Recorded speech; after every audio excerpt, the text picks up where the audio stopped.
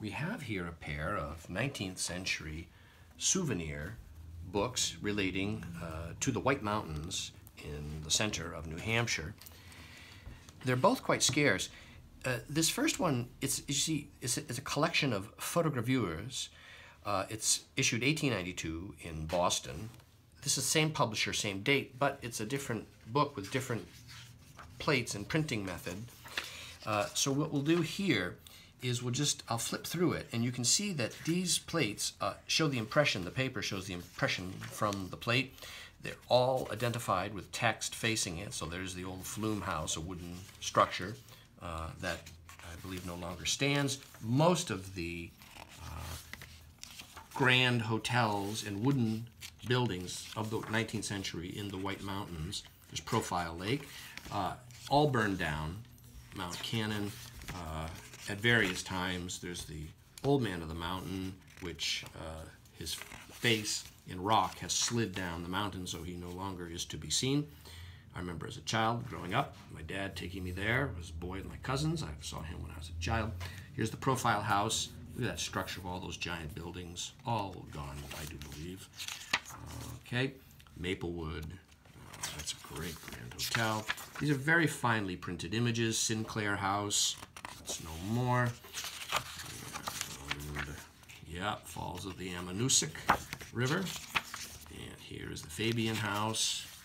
Some of these have tears in the plate. There's a short edge tear in the blank margin there. That's a beautiful one with people and activity going on. Mount Pleasant House. Okay. And here we have Crawford House. Yes, these are all famous grand hotels. People would come stay for two months at a time, three months up in the White Mountains. It's beautiful up there. It's endless hiking trails, and yes, it's just wonderful. Lots to do. Crawford House, yeah, and Gibbs Falls. Look at that. There's the Frankenstein trestle of the Cog Railway heading up to the summit of Mount Washington. The Willey Brook Bridge. Right, these are all famous sites, and many of them can still be visited today.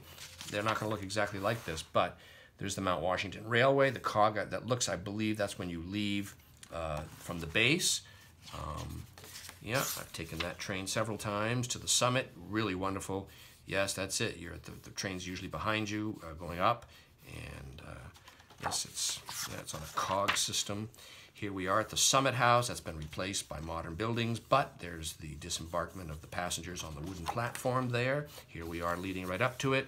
Lizzie Bourne's monument. She died there way back in, well, 1855 or something like this. And there's the summit and the Tip Top House, which actually I believe still stands. I believe that's still there, and that's the final one. Now, for comparison purposes, there's this one, which uh, is 1892 but this one is only these views. The Fabyan House, the gate of the White Mountain Notch, White Mountain Notch from Elephant's Head. Here's the Falls of the Ammonoosuc. So that's a duplicate one. Yes, here's the Frankenstein Trestle. And these have a different type of ink printing, I do believe. The Willey Brook Bridge. They look slightly different to me. Uh, subtle difference, minor. I think it's the ink color actually. Could be the profile there. And here we are at the Summit House. This one is detached and loose. And here is that monument again. And here is the railway as you depart from the base. And here is Jacob's Ladder. There we are. This one is loose as well. And there's Goodrich Falls. Yeah. And that is it for this one. So this is like a, a reduced mini version of this giant book. And uh, each is scarce individually, but together it's uh, unique. And so uh, these two are available as a pair online from me, Brian DiMambro.